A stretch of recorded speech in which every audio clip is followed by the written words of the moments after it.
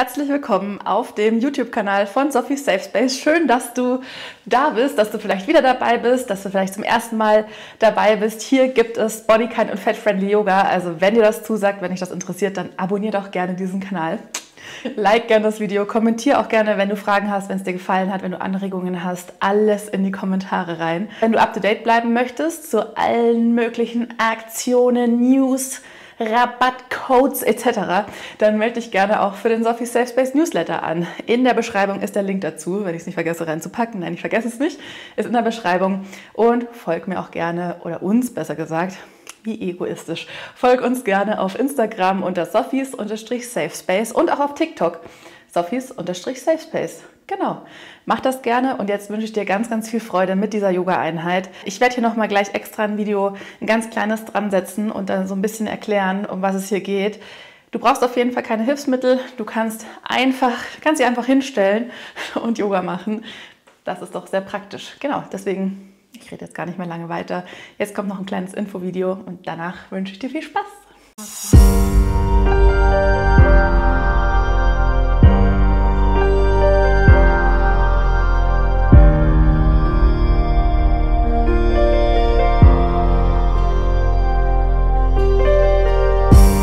Manchmal kann alles sehr viel sein und man ist mit seinem Körper nicht mehr bei sich oder connected oder verbunden. Ich kenne das sehr gut und ich mache regelmäßig Yoga und ganz viele andere Dinge, um ja, zurück zu meinem Körper zu finden, jedes Mal aufs Neue. Aber auch mir geht es aktuell öfters so, dass ich mich sehr von meinem Körper entfernt fühle und ja, mich teilweise gar nicht mehr spüre. Ähm, deswegen habe ich dazu ja, vor ein paar Tagen ein Reel auf Instagram gemacht mit drei Übungen in einer Kurzfassung, Kurzvariante, wie du dich mit Hilfe von Bewegungsabläufen und Übungen aus dem traumasensiblen Yoga, TSY, zurückholen kannst oder ja, dich zumindest ein bisschen einsammeln kannst und wieder ja, alles wieder ein bisschen zurückholen kannst, dich vielleicht wieder mehr spüren kannst und äh, ja, auch Dinge, die man nicht mehr bei sich behalten möchte, ausschütteln kannst. Darauf kam sehr viel Resonanz und auch ähm, viele, viele Nachrichten mit Menschen, die geschrieben haben, dass es ihnen genauso geht, dass sie genau die gleichen Thematiken haben. Ich mache dieses YouTube-Video aus zwei Gründen, eigentlich aus drei. Erstens, damit du die oder der dieses Video ansieht, weiß, dass sie definitiv nicht alleine ist oder er. Ähm, das ist das Erste. Zweitens möchte ich dir damit einfach ein Video an die Hand geben, mit, das du immer wieder machen kannst. Es dauert nicht lange, es ist auch komplett im Stehen. Du brauchst keine Matte, du brauchst keine Hilfsmittel, wo du dich wirklich innerhalb von wenigen Minuten wieder auf dich besinnen kannst, auf deinen Körper besinnen kannst. Das ist das Zweite. Und das Dritte, ich will es einfach machen. Ich will es einfach machen, genau. Deswegen geht's jetzt los. Finde in deiner Wohnung, in deinem Zimmer, da wo du gerade bist, einen Ort, an dem du dich sicher, an dem du dich gut fühlst. Ich persönlich stelle mich sehr gerne bei diesen Übungen vor eine Wand, einfach damit ich hier hinten Sicherheit habe. Ich weiß nicht, vielleicht ist das ein Ding von mir. Es kann aber auch sein, dass das wirklich helfen kann. Man weiß es nicht. Probier es gerne aus. Ansonsten, ja, zieh dir Klamotten an, in denen du dich wohlfühlst und vor allem Stress und überfordere dich nicht. Mach das ganz entspannt und ganz liebevoll auch mit deinem Körper. Genau. Auch wenn man vielleicht gerade nicht connected ist. Also ich kann es dir sehr, sehr gut nachempfinden gerade. Gut, dann fangen wir an. Klopf dich langsam aus und wir fangen an den Armen an.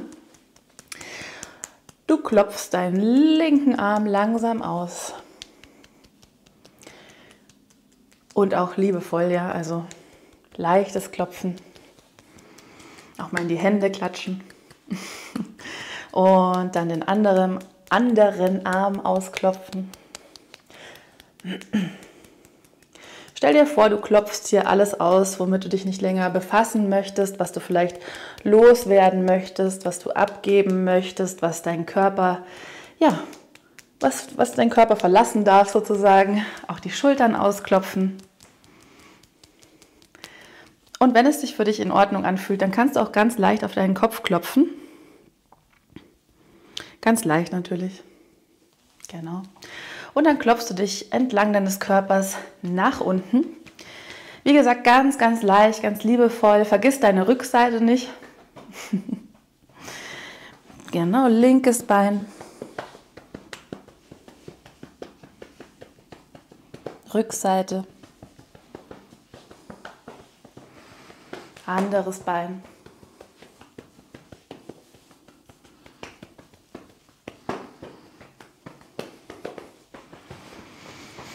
Nochmal die Stellen, wo du denkst, dass du nochmal ausklopfen möchtest.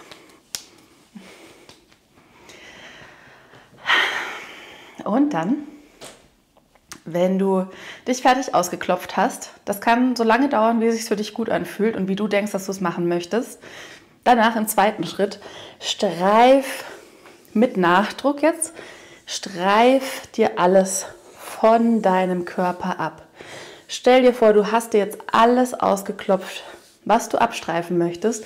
Und das tust du jetzt auch. Du streifst wirklich mit Nachdruck an deinem linken Arm, an deinem rechten Arm, an den Rückseiten. Streifst du alles von dir ab, auch an den Schultern.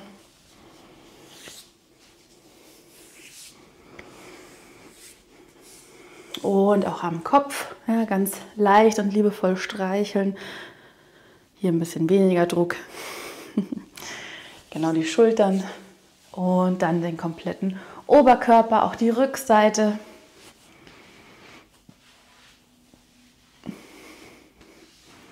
Sozusagen wie eine Dusche ohne Wasser. Und dann richtig hier mit Nachdruck auch an den Oberschenkeln nach unten streifen, auch die Rückseiten, auch mehrmals an einer Stelle. Tief einatmen währenddessen, vergiss das Atmen nicht. Und ausatmen. Und dann bück dich nach unten und streif auch deine Schienbeine ab, deine Waden. Und auch dein Fußrücken.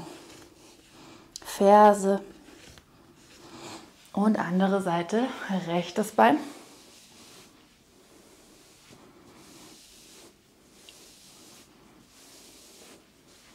Mit Nachdruck.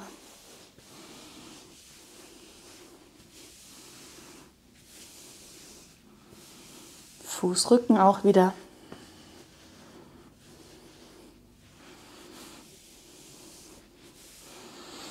Und wenn du das Gefühl hast, dass du dich genug abgestriffen hast, hoppala, dann schüttel dich aus. Schüttel alles von dir ab.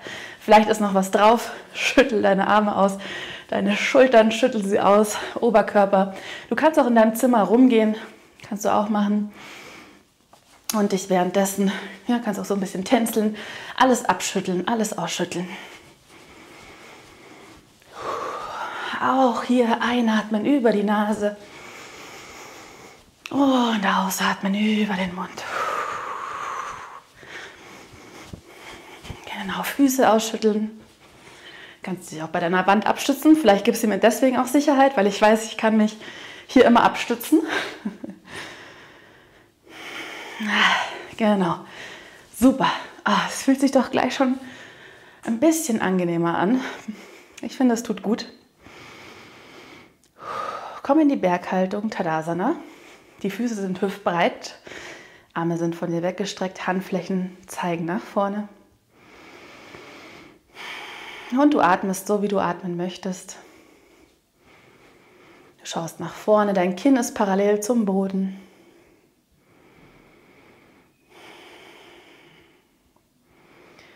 Und dein Gewicht ist gleichmäßig verteilt auf den Füßen.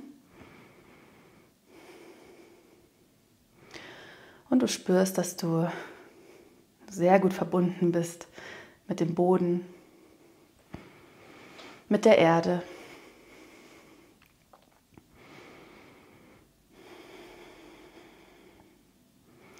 Das ist eine Haltung, die dir sehr viel oder die auch dem Körper sehr viel Sicherheit signalisieren kann und auch geben kann.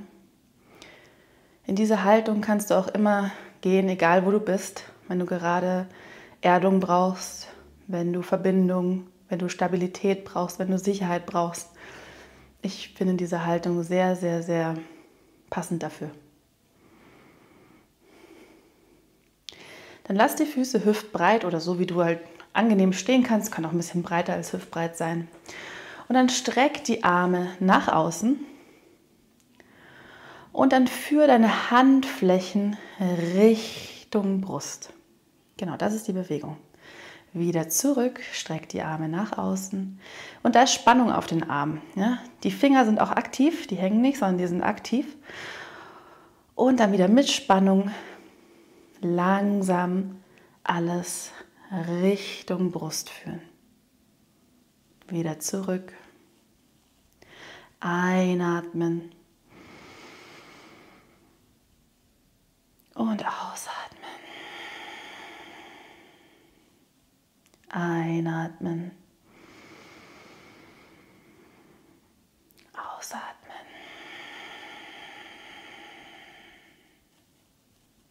Einatmen. Ausatmen.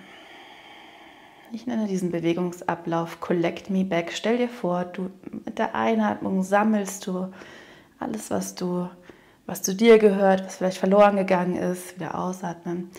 Sammelst du wieder ein, ganz liebevoll, wieder einatmen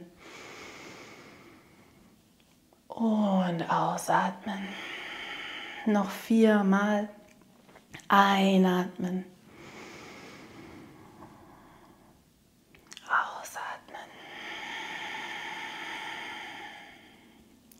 Einatmen, Richtung Herz bringen, ja, Richtung hier, energetisch Richtung Herz und wieder ausatmen.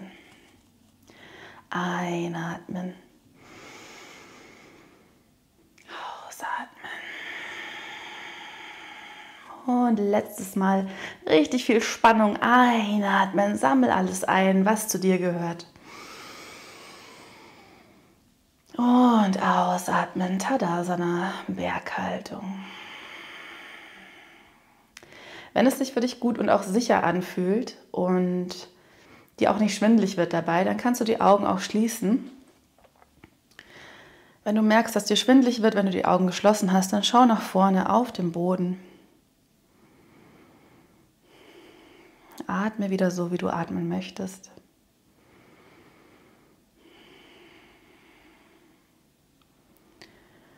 Und dann spüre in dich hinein, in deinen Körper hinein.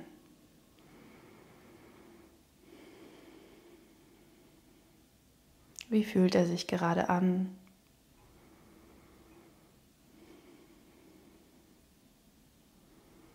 Wie geht es euch gerade?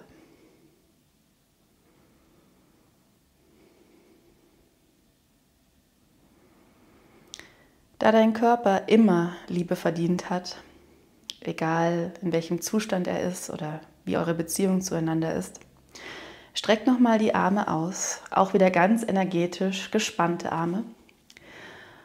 Und dann schenke dir und deinem Körper die liebevollste und sanfteste Umarmung, die du dir schenken kannst.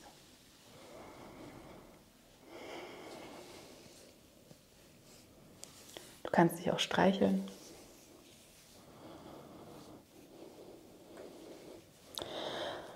Du kannst auch in deinem Zimmer rumgehen, während du dich umarmt hast.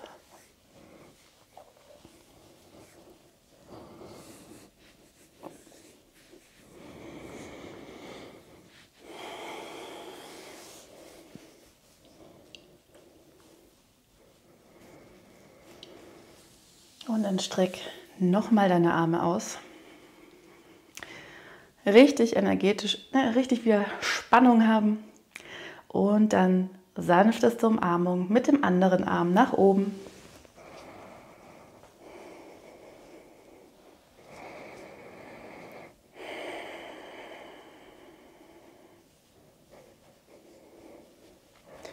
Vielleicht wieder ein bisschen spazieren gehen in deinem Zimmer und liebevoll für dich da sein, für euch da sein.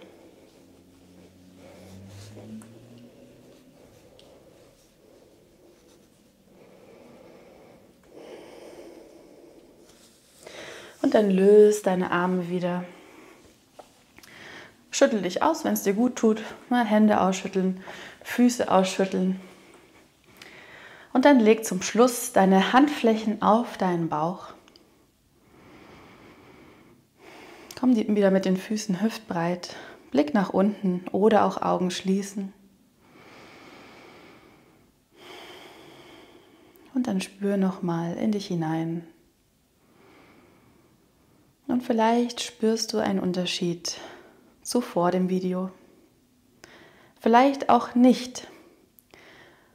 Ja, es ist beides vollkommen in Ordnung. Es ist auch normal. Ja, wenn das jetzt auch keinen Effekt hätte, das wäre auch in Ordnung. Natürlich wünsche ich dir, dass es dir gut geht. Dennoch möchte ich dir einfach versichern, mach dir keinen Druck, mach euch keinen Druck. Versuch mit Liebe an deinen Körper heranzutreten oder mit Wohlwollen, mit Freundlichkeit, mit ja, allem, was so schön ist. Wenn es sich für dich gut und ehrlich anfühlt, dann schenk dir ein inneres und vielleicht auch ein äußeres Lächeln. Zieh beide Mundwinkel nach oben. Und mit diesem Lächeln bedank dich bei dir selbst, dass du dir heute Zeit genommen hast. Dass du dir Zeit für dich genommen hast. Und dass du dir Zeit für euch genommen hast. Löse deine Hände langsam von deinem Körper, von deinem Bauch öffne deine Augen und dann meine es ernst, wenn du dich bei dir bedankst. Ich hoffe, es hat dir gut getan. Du kannst dieses Video immer gerne machen, wann es sich für dich gut anfühlt. Ich wünsche dir und deinem Körper, egal wie gesagt, in welcher Beziehung ihr gerade seid oder wie es dir gerade geht, ich, ich wünsche dir und euch ganz viel Verständnis und ganz viel Wohlwollen und ja, Liebe auch. Auch wenn das natürlich sehr ein sehr großes Wort ist und sehr viel da drin, sehr viel da drin ist. Aber ja, wer weiß. Es ist halt immer ein Weg, alles, ne? Gut. Ich hoffe, wie gesagt, es hat dir gefallen. wenn du Fragen hast, wenn du von deinen Erfahrungen erzählen möchtest, wenn du erzählen möchtest, wie dieses Video vielleicht für dich war oder die Übungen, dann schreib das gerne unter das Video. Ich lese auf jeden Fall die Kommentare und freue mich auch sehr, wenn es dir ja, helfen konnte. Also, pass gut auf dich, auf euch auf, wenn du die Kapazität dafür hast. Und dann wünsche ich dir, wann auch immer du das gemacht hast, einen wunderbaren weiteren Tag oder einen schönen Abend. Und bis zum nächsten Video. Vielen Dank fürs Mitmachen. Tschüss.